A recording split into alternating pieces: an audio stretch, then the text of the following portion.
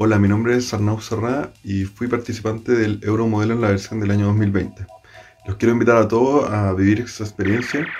eh, en la simulación de este año.